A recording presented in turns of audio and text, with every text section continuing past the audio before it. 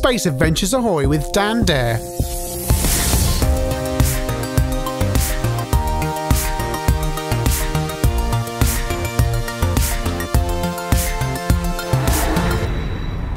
What were you doing in summer 1989? Well, I was finishing up in junior school and getting ready to have everything knocked out of me when I went to big school.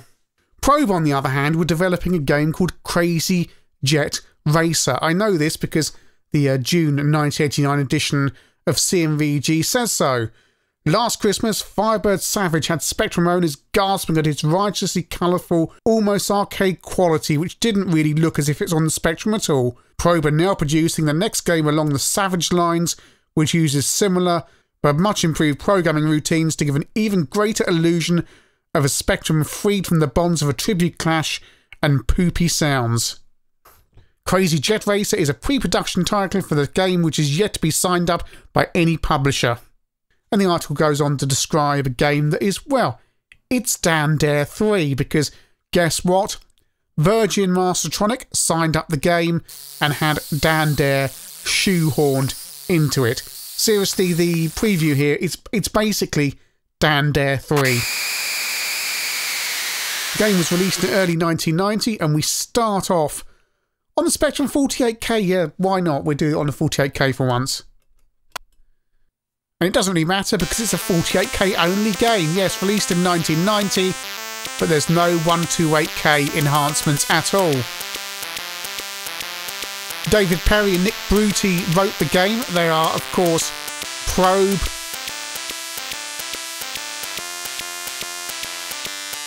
And we start the game, and you are, well, now Dan Dare compared to the preview. You have a jetpack which needs charging up from the fuel thing we just walked past and you have to defeat the Mekon thing at the end of each level in order to collect some fuel to escape the uh, well, escape the game, win the game. Basically, you need fifty pounds of fuel. None of this has changed apart from the fact there's a now a Mekon thing you have to shoot there, and that computer screen at the bottom is also somewhere where you can buy new weapons. You get points for shooting baddies, which you can spend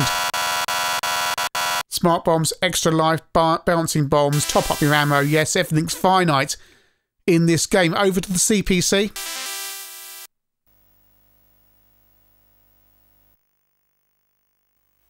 No title music. But like the Spectrum, very colourful indeed. Lots of giant explosions, just refueling my jets there. That's the jetpack. Baddies take several hits to destroy, although you can hold down your fire button and power up a bit more to destroy, to use their shots to destroy an enemy. C64, and all the 8-bit level layouts are the same. No soundtrack or anything on these 8-bit versions as you play it. Everything is effectively silent.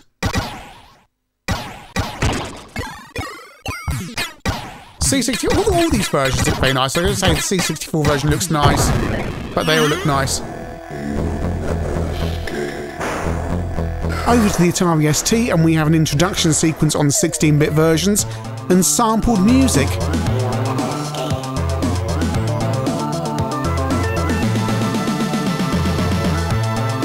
However, if you're an Amiga owner who wants some one upmanship on this, then actually what the ST version appears to be doing is playing back a sampled version of the Amiga music. It's identical, other than the fact it's more muffled and entirely in mono.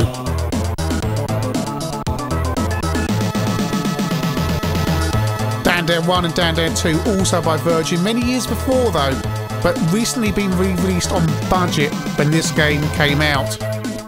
Drags on a bit, doesn't it? Basically, you've been captured and you have to escape. That's it. When C+VG reviewed the 8 bit versions of this game, they weren't sure if an ST and Amiga version was going to be produced, but evidently it was. The levels on the 16 bits are larger than the 8 bits, although the main layouts, central layouts, seem to stay similar. And it's just as well they are bigger. We'll we'll see why. ST and Amiga versions ostensibly the same as you'd expect from a game from 1990, although, and now you can see it's looking familiar here from the 8-bit versions, although there are the usual differences in sound.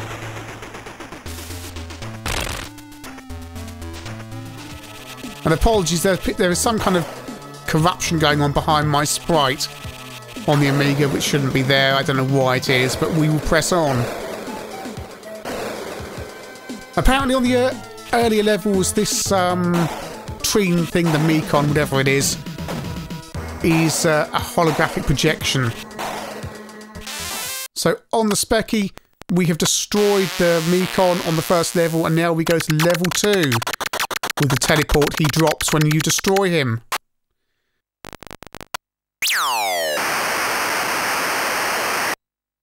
And suddenly we're flying through space and we have to stay within the boxes or we lose energy. You get four lives and it's critical on this stage. You don't lose too much energy because obviously you're going to have to recharge when you get onto a later level.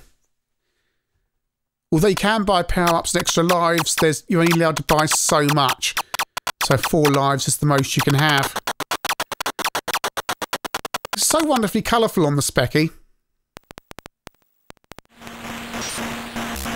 And indeed on CPC.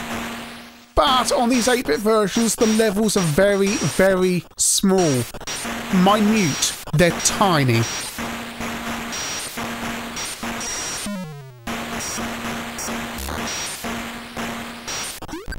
Pick up the fuel, pick up the teleport. Can't destroy those gun things, just run away from them. Well, energy, not... There are power-ups scattered through the levels, which can be useful.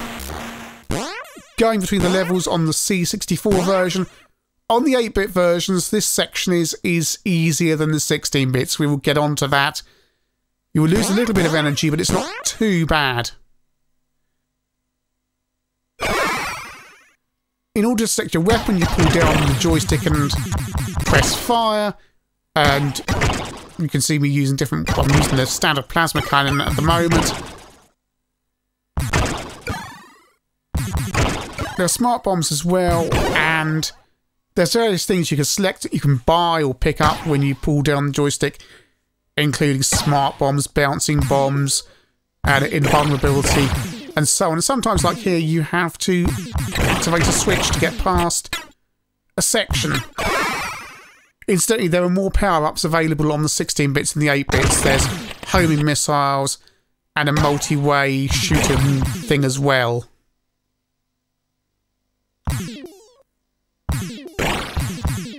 Mekon aside, the baddies in this game have no relation to Dan Dare at all. Because this is Crazy Jet Racer with Dan Dare shoehorned into it, basically.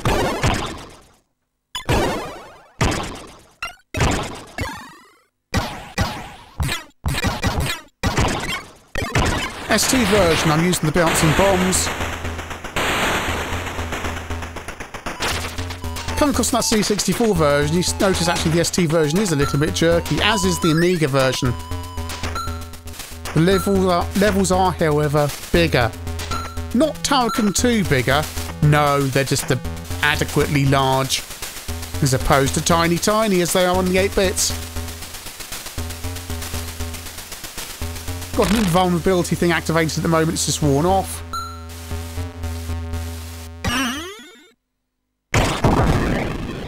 And that's the smart bomb. Activating that at the moment.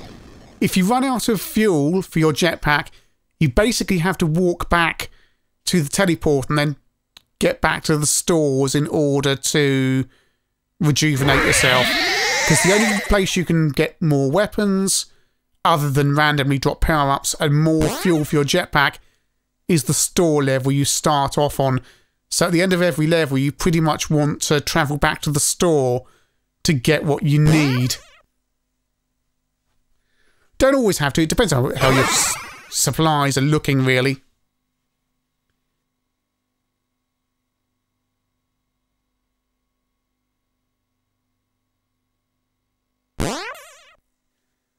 I'll be going between levels on the Amiga version, and look how insanely fast and hard this is. It's the same on the ST and Amiga. It's really hard compared to the 8-bit versions. Nice soundtrack though on this level at least. It gets the pace of it kind of going up. But you end up coming through the other end basically with no energy and as soon as you touch anything you die. And then you have to carry on. And it, that's rather annoying.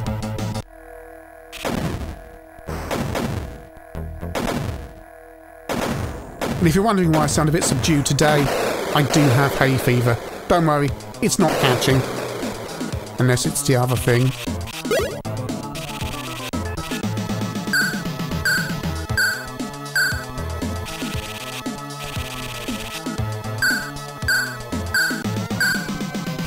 That homing missiles, you don't get those on the 8-bit versions. They're good for tunnels and areas where there's things you can't see off screen.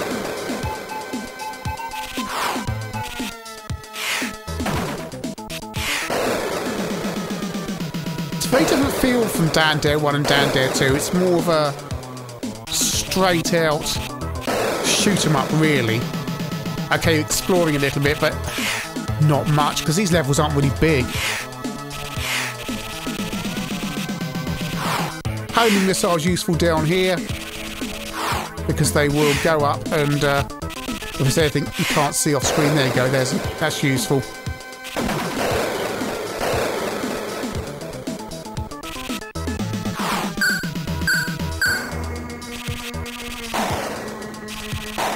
And change. Bouncing bombs are good for clearing out tunnels, but they can go off in random directions, so you need to be a little bit careful of that. And baddies with bouncing bombs may take more than one hit to kill. Indeed, with the plasma rifle, they would still take more than one hit to kill unless you hold down the fire button to power up. Reviews of this game were somewhat middle ranking scores in the region of the 70% for the 8-bit versions. Some of the magazines kindly didn't mention how short the game is. Yes, I completed the Amstrad version in 13 and a half minutes. 13 and a half. And I can tell you the 16-bit versions really aren't that far behind.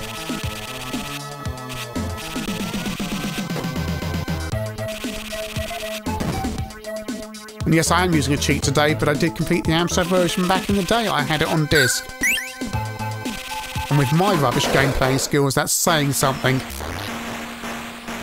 So now we're on level 4, the final game level.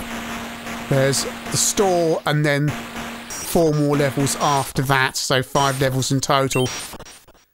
We just shoot this baddie here that I don't know if that has any relation to Dan Dare. Perhaps someone can tell me. Giant Birdman, I don't know.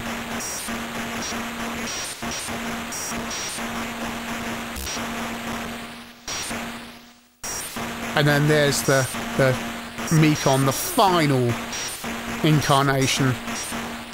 No extra challenge, just as easy to defeat him as it is on level 1. We shoot him. Hopefully there's 10 kilos of fuel behind him there. And then we go back to the store and then select blast off and that's it.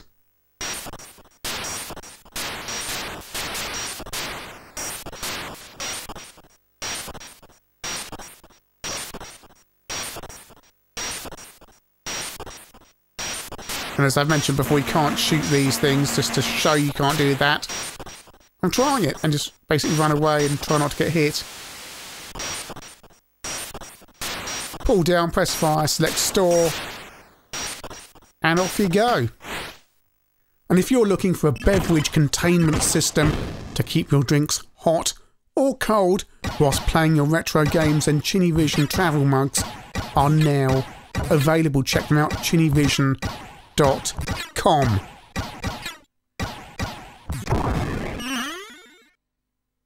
Okay, there's no multi-load, all the 8-bit versions loading at once. But you just feel there should just be a little bit more, especially when they've taken so much care with the graphics.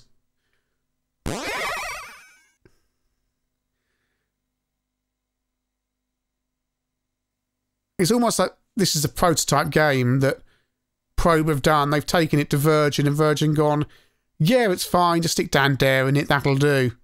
not, uh, well, it needs another month of development. Right, there's the terminal screen where you can buy things. Blast off option 5. There we go.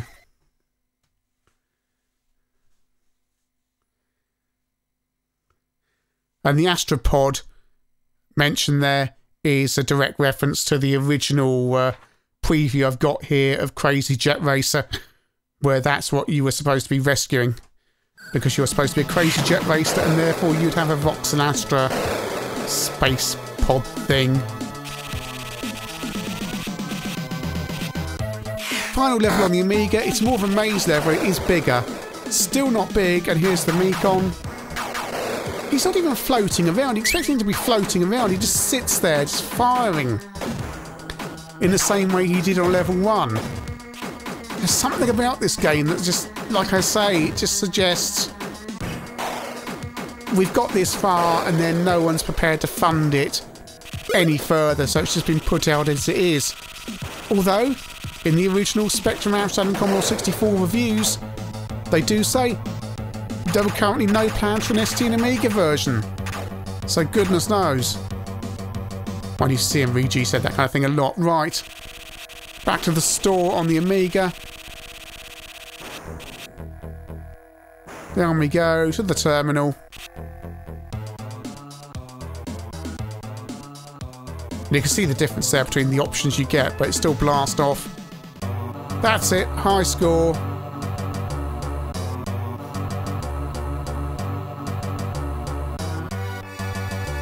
Do you get any kind of congratulations on this version? Oh, hang on, here we go.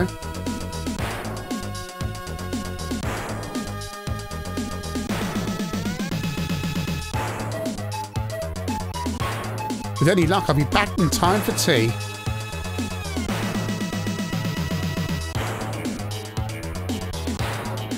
And that's it. Dare 3 on the Spectrum, Commodore 64, Amstrad ST and Amiga. It has the whiff of a game that Probe have developed. They've taken to a publisher and gone, right, what can we do with this? Can you give us some money to develop this further? And the publisher, in this case Virgin Mastertronic, have gone, not really, just stick Dan Dare in there and a few Mekon graphics, and then we'll stick it out. The game could have been something really special, graphically, it's superbly polished. It looks great on all of those 8-bit versions. The Spectrum version overcomes all the limitations of the system. C64 version looks lush. The Amstrad version is also really, really colourful. But the levels on the 8-bits are far, far too small. Unforgivably small, in fact. I guess that's the payoff for all those large, lush graphics. We're going to have tiny levels and a total lack of in-game music, even on the 64 where these, these things were common. ST and Amiga versions, they're bigger, I'll give them that. There's more to explore, but they're still not massive. And you know what? They don't really even play as well as the 8-bit versions. You're paying a lot more money for a slightly bigger game that doesn't play as well. What this game actually reeks of is a cash-in for the Dan Dare anniversary Virgin Mastertronic wanted to get, it, get out another Dan Dare game and to do it cheaply, quickly, and easily. And they took Crazy Jet Racer from Probe and just shoved it out. It's a shame because Crazy Jet Racer, with a bit more development, could have been something really special, and it deserves more than what it eventually became, which is Dan Dare 3.